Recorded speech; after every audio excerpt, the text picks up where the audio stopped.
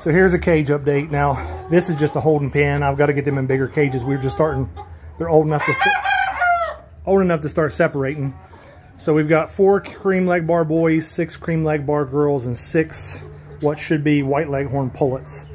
So eventually there'll be one cage with one cream Legbar rooster and the cream Legbar hens. And then the other cage will have a cream Legbar rooster and white leghorn hens. And we have an older uh, pair of white leghorn hens that are already laying will go in there with them too. Uh, we just cleaned the stalls out. They're about to get new uh, substrate in them. And we just started separating them. And that's it for the uh, cream Legbars and the cream Legbar white leghorn crosses.